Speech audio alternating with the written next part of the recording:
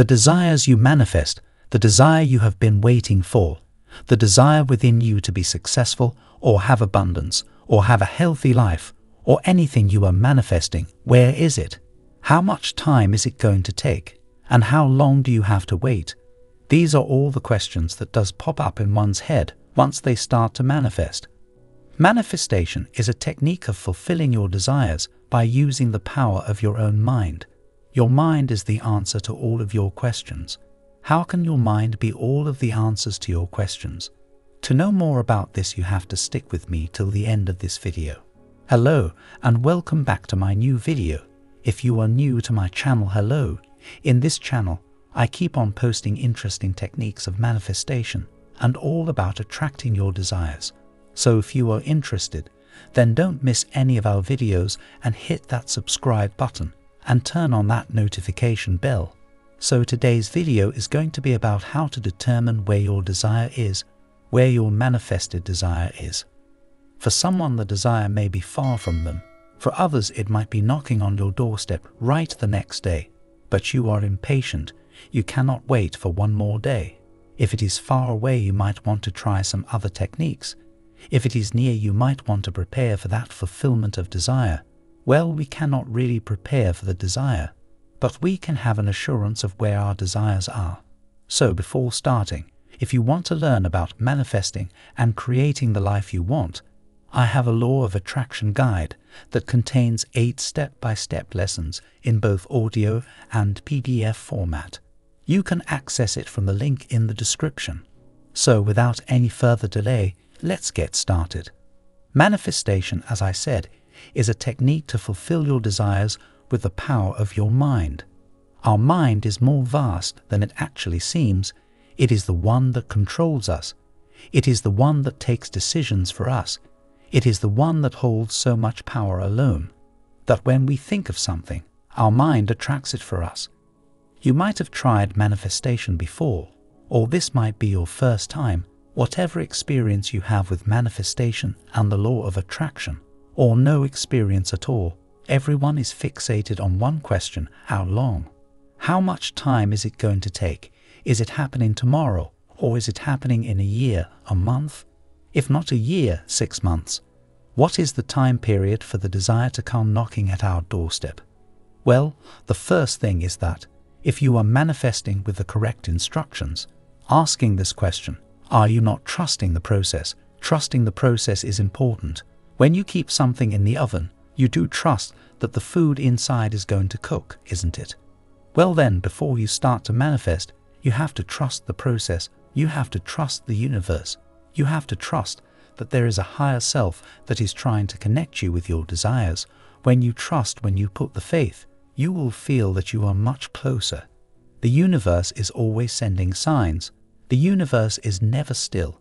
If you are asking the universe for something, the universe is aware that you are asking for something, and the universe is trying. The universe is doing its best. All you have to do is try from your side. You have to trust. As I said, the universe is not there standing still and thinking, this person asked for this thing. I will give them their desire on this day in specific. No, it's the universe, not a government office, the universe tests you. The universe has to know what that desire mean to you. If the desire you are manifesting means a lot to you, the vibration you send out to the space is much higher than the vibration of manifestation that is going to be of value to you for some time. Your manifesting desires are not something that will entertain you for free of cost. You have to work hard for it. You have to be focused.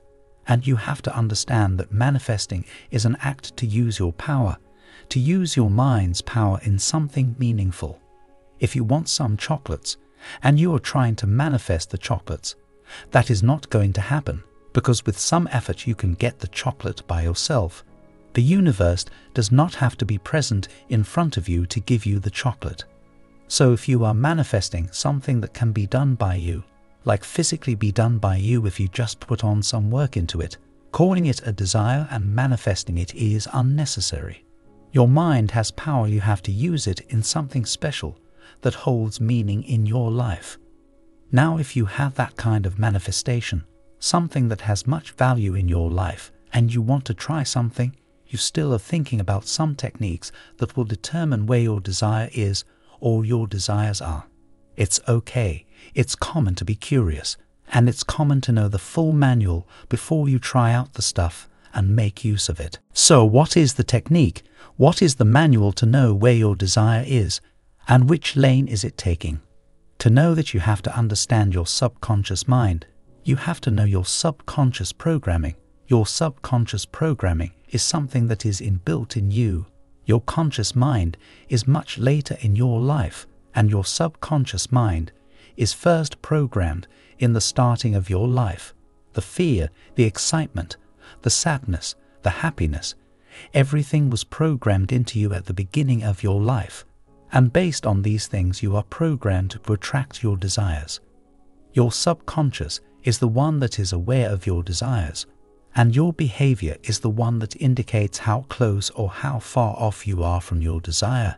You have to notice your behavior, your subconscious senses that your desire is near, and when it senses it starts to prepare you, your behavior starts to change.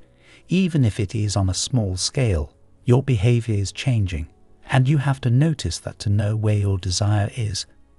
The answer to your question is within yourself. You know that your desire is on your way, and your conscious senses it too, but you tend to ignore it, you tend to jerk it off and think it's just a feeling. It's just a delusional feeling. Well, that delusional feeling is something that's called gut feeling, and it's not delusional. That's your mind sending you signals that your desire is your way it's your intuition and not a delusion. We have to be honest with ourselves and we have to trust ourselves. And we don't trust ourselves sometimes. As I said, we call it a delusion. Now, how can we separate delusion from intuition? How can we really catch on to those signals? What we have to understand is ourselves. We have to know where we are currently standing. Spiritually, where are we standing? And through that, you will unlock the door to know where our desires are. The way to determine and have access to that intuition or gut feeling is to write down your desires on a piece of paper and no, I am not telling you to write down the affirmations. Just write down the desires you are manifesting, not a paragraph or a sentence, just a word. A word is enough. Write it down in a piece of paper and ready it out loud. Read one of them at a time and observe what you feel don't press down feeling onto yourself, just pure feeling, when you say that one word. For example, if you are manifesting a car, your dream car, write down the model name of that car and read how do you feel. The pure feeling is what determines how far your desire is. The feeling can be anything positive or negative. You have to observe it, especially the negative ones. The one that feels impossible because that indicates that you are out of alignment with your desire. It indicates that you are completely not believing that you can even have that thing. For manifestation to work, you have to have that faith in yourself before having trust in the process. So you have to have that trust that you will be getting your desire. You have to trust that you are capable of it. Your subconscious has to be rewired because your subconscious is the main cause of your beliefs.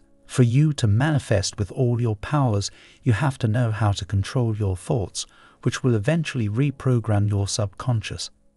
The negative thoughts you get have to be examined properly. You have to go to the root of the negative thought related to that topic you are manifesting. Think about what were you told and try to change the perspective of it. You can choose your life. You are capable of choosing your life for yourself. So do it properly and do it wisely. By saying this, we have come to the end of this video. If you have come this far, I thank you for listening to me. If you liked this video, press that like button down below and share it with your friends and family. It would mean a lot to me if you even subscribe to my channel for more contents like this. Thank you.